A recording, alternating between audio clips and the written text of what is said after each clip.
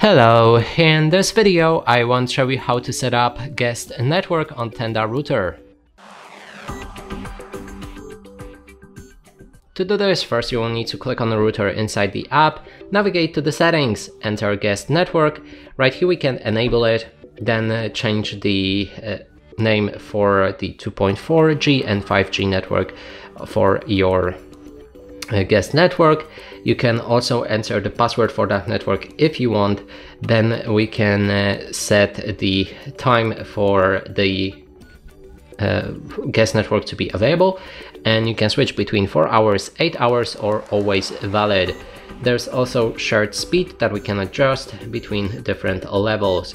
And that's it for this video, hope you like it, please consider subscribing to our channel, leave a like and a comment below.